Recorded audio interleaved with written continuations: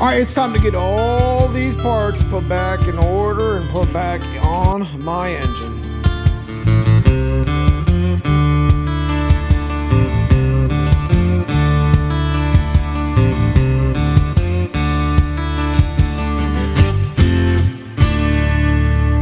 It's all the same.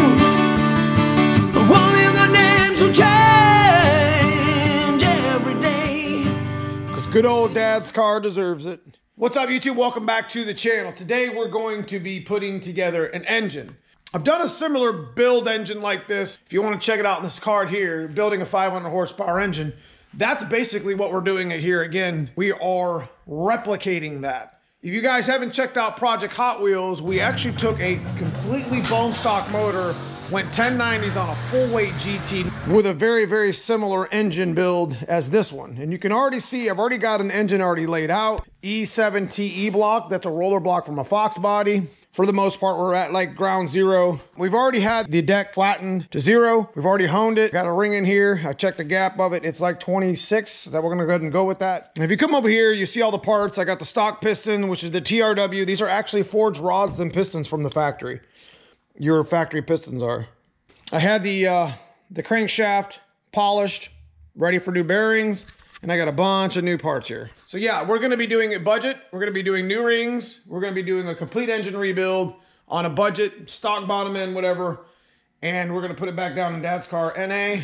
But with this video today, I'm not gonna go over how to build an engine. We're gonna take multiple videos. I'm gonna go kind of on a time lapse. Maybe I'll speak very briefly on what I'm doing. We are gonna flip the pistons in this block. If you haven't watched that video I was telling you about earlier, Again, let's get started real quick. Uh, go rundown. We're running with some GT40P heads. Stock crank. Each piston will be flipped in the bore. New rod bearings, new main bearings, new cam bearings that are already in the engine. Block is surfaced. Heads are surfaced.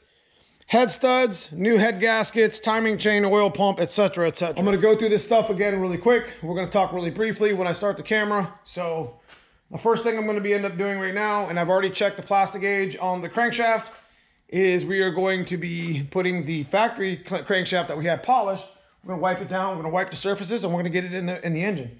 Uh, it's already got its end play checked, and the Plastigage come in at about 2.4 thousandths, which is about where I want my oil clearance to be. Let's get started.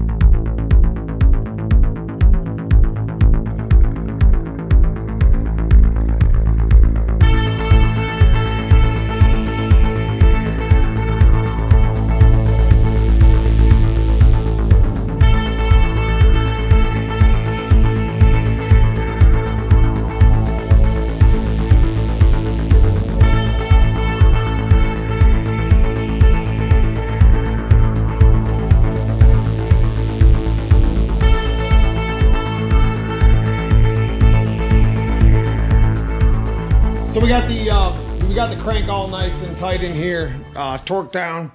I usually torqued about 85. I think that's the factory specs.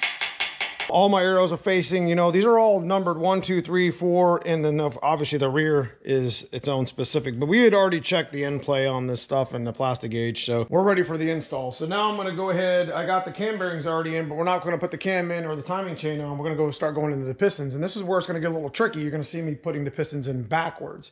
So one goes to five, five goes to one.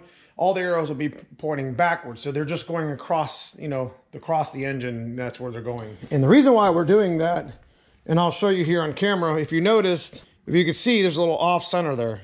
See how that pin's off centered? It's about 60 thousandths this way. I'm gonna use this factory stroke or the factory offset against it. So and the way it was explained to me is Ford from the factory put offset into the piston because of the cold wear. So basically on cold start, it would make it so the piston didn't slap because there's like about five thousandths piston to wall clearance, four and a half thousandths piston to wall clearance. Since I don't normally drive any of my Fox bodies in the weather at all in cold, I'm not worried about that. So I'm gonna take that 60 thousandths offset, I'm gonna turn the rod around and I'm gonna go, not the rod itself, but I'm gonna flip the piston, go the other way, and make it 60 thousandths up, which actually puts the piston higher up in the hole and gives it a little bit of a stroke. Does that make any sense? It's an old dirt track OEM trick. It worked really well on Project Hot Wheels. It's worked on probably another five of the other engines that I've built just like this. So good for a little, you know, a handful of horsepower over what would be a normal factory piston setup. You know what I'm saying? So I'm gonna go get my piston stuff set up. We're gonna put you back on the time lapse. We're gonna start flipping pistons. I'm not gonna go in super detail about it. Um, if you want to check out that other video, I went into some pretty good detail. Gonna, you're gonna see me getting some rings on the pistons and getting them in the bore and getting them lined up or whatever. I also use two pieces of rubber, the the journal itself. So when I'm tapping the piston in with my sleeve, it doesn't squirt my journal. So we'll get these all cleaned up. We'll get these clearance in. Um, these are at 85, 90. Uh, all my rods will be at about 25 to 30. Then we'll put the cam and the timing chain cover on and we'll start working it up.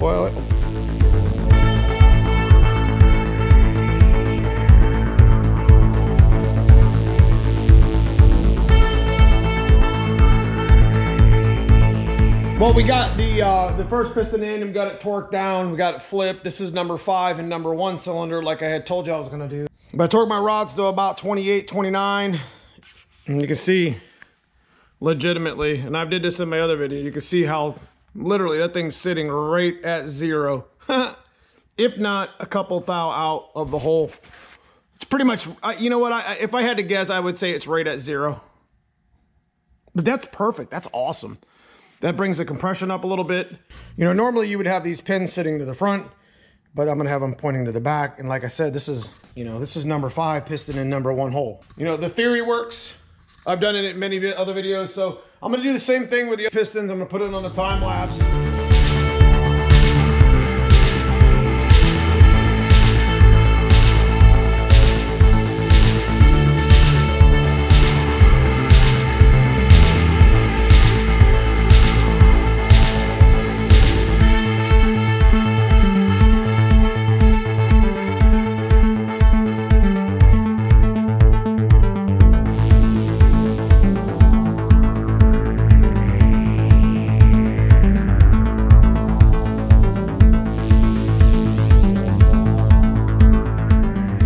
Right, so I got all eight pistons in. Got top dead center right off the bat without even trying. Number one's up, number six is up. So my pointer will probably be right here. I'll have to mark this as the one that I want to use. Where we're at next, uh, we're going to be doing the oil pan or the oil pump, the pickup, the gasket, do the camshaft, chain, timing chain cover. It's a, it's a pretty, it's a devil's in the details when you're putting this together. I mean, the torque's got to be right. You know, the piston's got to be facing one way or the other, depending on what you do with it. But you know, there's not, it's not rocket science, guys. With with budget building, you can budget build your, your own short block for limited money if you had, you know, the correct tools that you can get most of these at Harbor Freight for that matter. You see me using the gun, I draw the gun up with the, the, the, the rod bolts, then I torqued them at 30, 28, 29, I think that's factory spec. I usually pretty lucky at 30. No big deal. When we come back, we're gonna be doing the rest of the motor. For this camshaft, we have decided to go with the Cobra camshaft which you can see the GT stamp right here. This is a factory camshaft F3ZE one. So, I mean, legitimately, we're building a stock bottom end with the Cobra cam. We're basically replicating the Cobra motor right now. We already have the GT40 intake, so have the best of the budget. That's the best way to say this. This is like the best of the budget.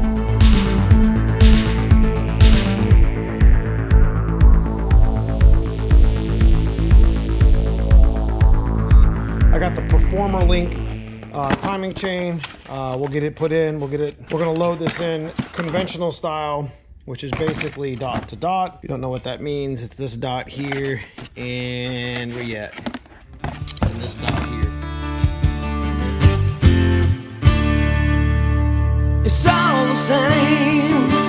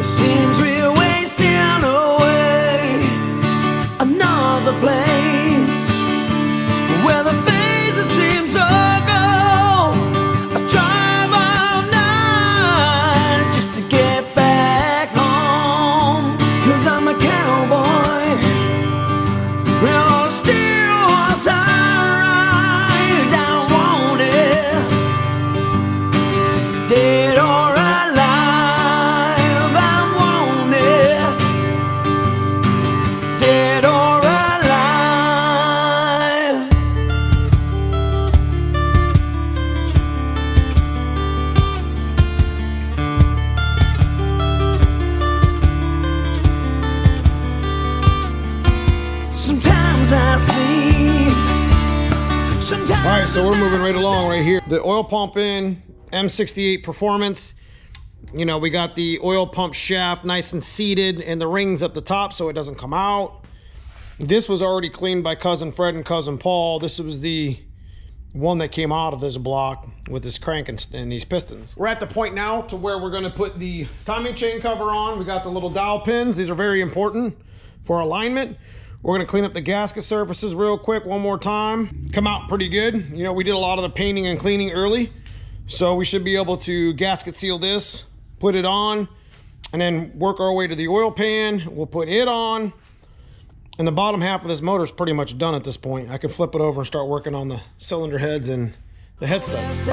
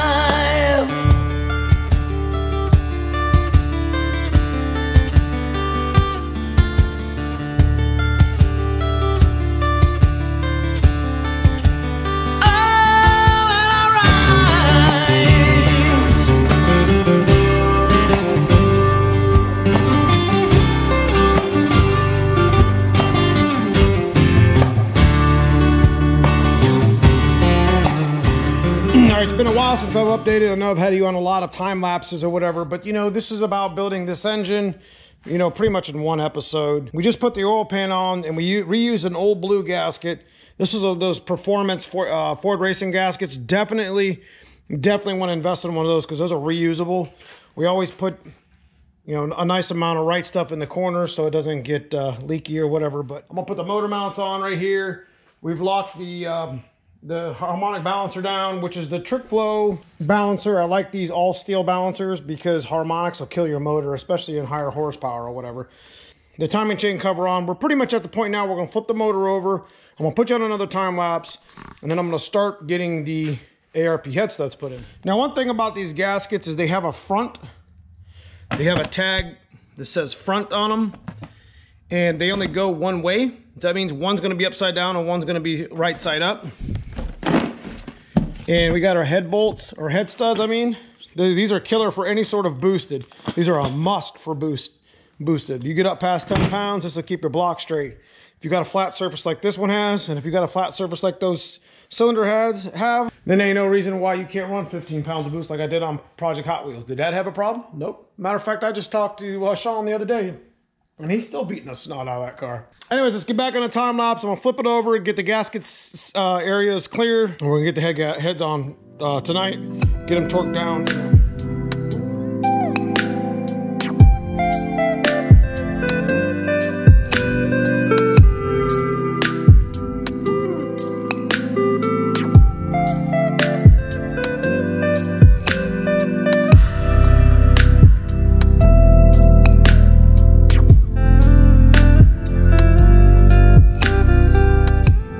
All the head studs in and got the surfaces pretty clean as you can see right here. But you got to make sure you put thread sealant here. These are all in a water jacket. These all need to be uh, ARP moly lubed because they stretch and they yield a little bit. Um, I only put them in hand tight. They're supposed to yield a little bit and, and, and, and stretch a little bit when you torque them down.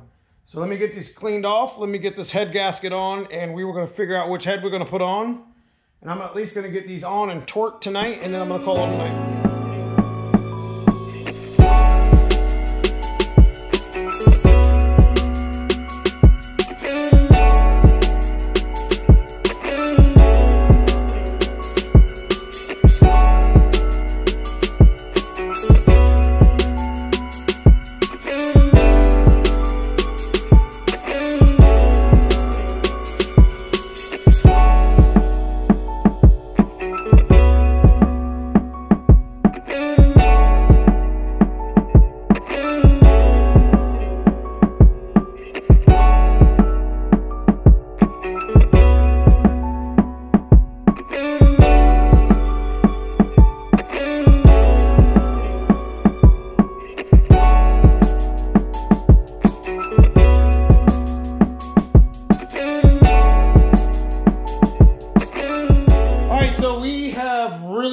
Crank down on this engine.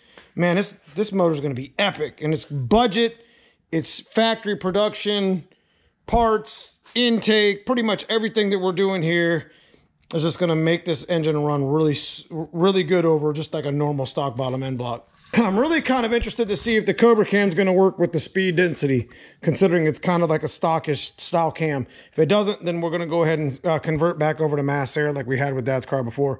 This is a badass motor. I can't wait to get this thing off the stand and fired up. All right, guys, I got the intake on. I know it went a little bit faster. Guys, there's really no reason for me to go any further. We got Dad's car waiting over here. We're gonna go ahead and get this engine. It's all buttoned up. We gotta put the water pump on. We gotta put the pulleys on. I'm gonna probably put the alternator on real quick. Throw my golf ball in the distributor hole. That way nothing falls in. Um, this is pretty much everything's done and ready to go. Even the vacuums are hooked up. you guys enjoy my video. It's been long. It's got a lot of time lapses in it. I pretty much started from zero and built the engine. So We'll see how good it is when we get it in dad's car. Budget minded, drop in uh, sealed power plasma moly rings, you know, standard bearings, machine work, polishing the crank and the cam and, and getting the cam bearings installed and decking the surfaces, you know, it's just, you know, you can make these motors run really good like they're brand new again if you just do some of the maintenance things. I mean, I got probably anywhere between, you know, 750 and a $1,000 total in it. And that includes, you know, machine work. I already had the GT40 intake. That's an Explorer junkyard mod. And I already had the P heads, but that's also an Explorer junkyard mod. You can get them cut, washed, and for 150 bucks, you can get a pair of uh, springs. And this is actually a uh, Explorer throttle body that I actually modified. I do have a 65 millimeter one that I machined, but I just left that one on there because I don't feel like doing it. Budget minded, under a thousand dollars. This motor will make 500 wheel easy on some turbo boost. Um, we're gonna keep it NA for the rest of the year for now.